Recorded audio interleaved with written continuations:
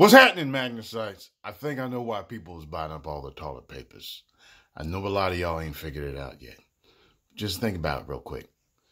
People afraid of getting quarantined in their houses. So if you're quarantined, you can't go nowhere. So people think they're going to be locked in the house for months on end. And that's why they're buying up all the toilet paper. See, I be thinking.